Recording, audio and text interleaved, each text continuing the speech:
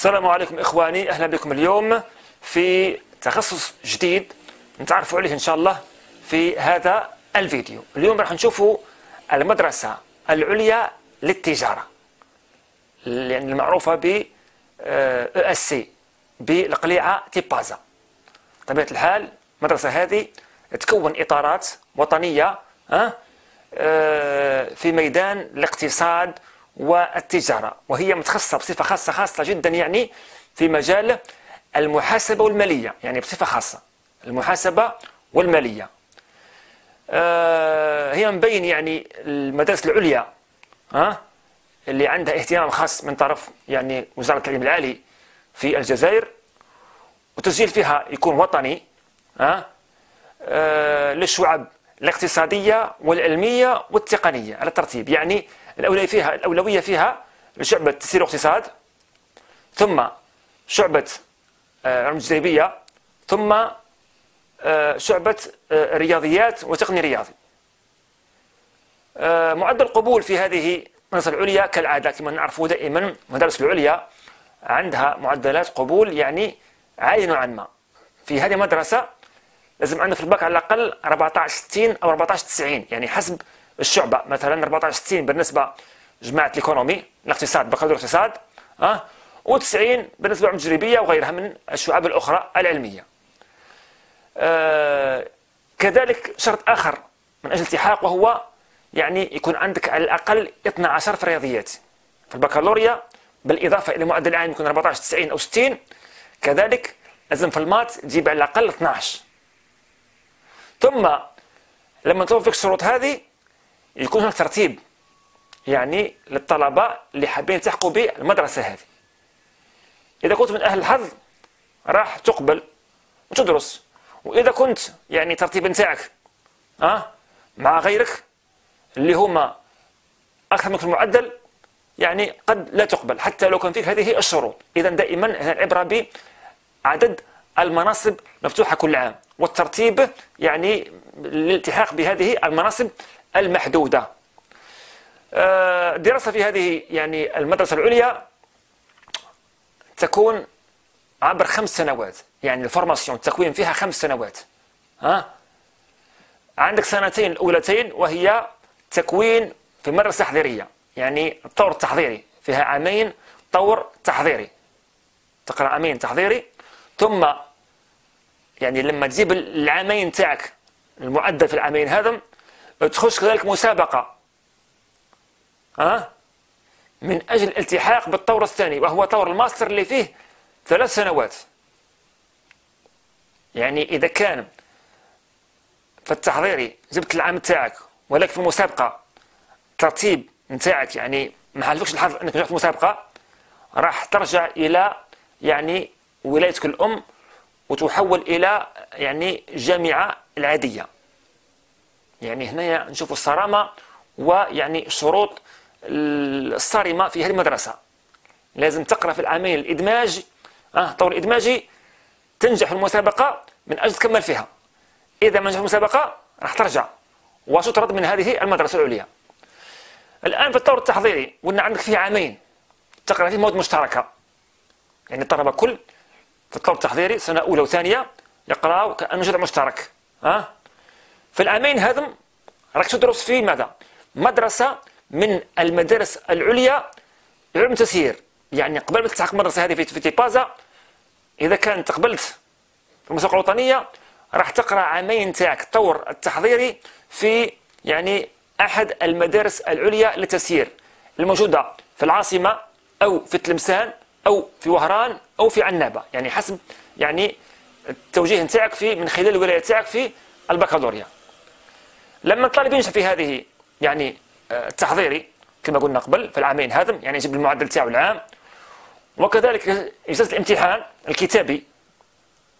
ها؟ هو امتحان كتابي ترتيبي. ها؟ فيه ربع مواد. دوزياماني راح تعقب امتحان بعد يعني طور الإدماج. فيه ربع مواد كتابية وهي التحليل الاحتمالات اقتصاد جزئي واقتصاد كلي macroéconomie microéconomie.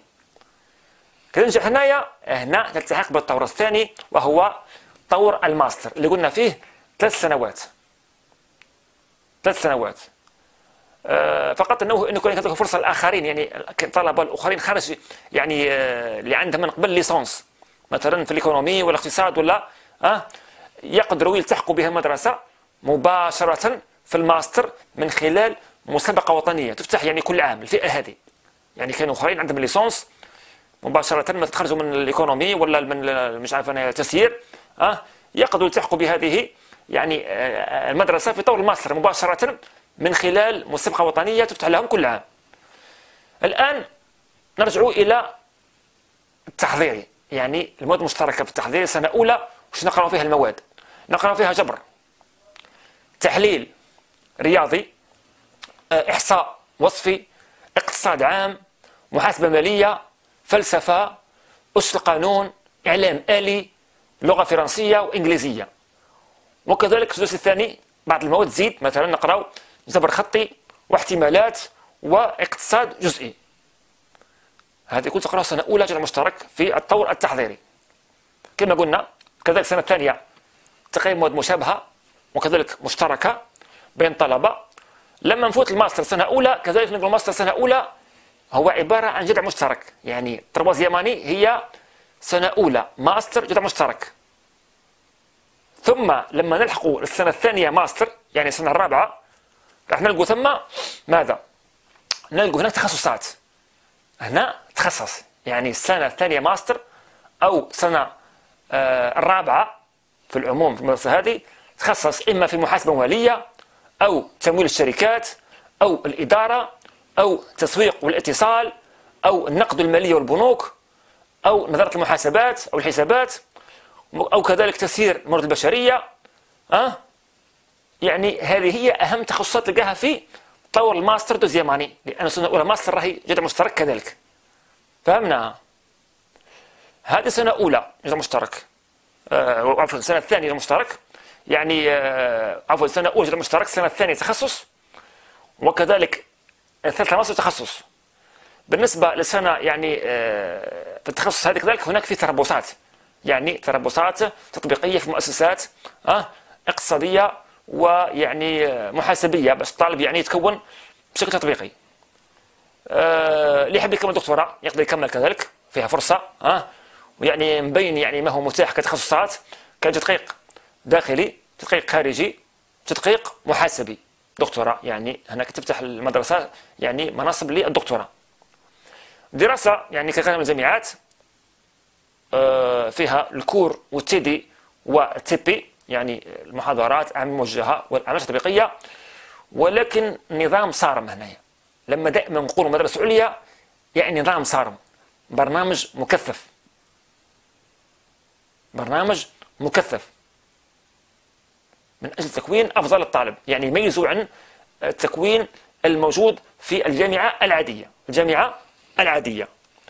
آه، دراسة في المدرسة هذه العليا يعني أغلب المواد بالعربية ولكن هناك بعض المواد الفرنسية يعني أغلبها بالعربية ولكن هناك مواد فرنسية. بالنسبة لآفاق العمل التوظيف يعني هذا هو عيب المدرسة هذه. من أهم عيوبها أنه ليس بها توظيف مباشر. يعني هنا الطالب يتعرض إلى يعني ضغوطات وخطر إنه يطرد منها السنة الثانية إذا ما نجحش في مسابقات يعني التحضيري وبرنامج مكثف لكن لما يتخرج منصب العمل تاعو ليس مضمون. يعني هو من ناحية السمعة والتكوين يعني عندها أولوية على غيرها عند الشركات والمؤسسات ولكن في العموم نقدر نقولوا إنه يعني كأنك انتايا وخريج مدرسة يعني أو جامعة عادية في الاقتصاد الإيكونومي والمحاسبة يعني نوعا ما متقاربين من ناحية سوق العمل وإن كان يعني آفاق العمل في هذا الميدان كثيرة المؤسسات الشركات البنوك الإدارات آه، مش عارف أنا يا آه، يعني مكاتب محاسبة أه؟ مكتب الدراسات أه؟ كذلك عند الإدارة العمومية أه؟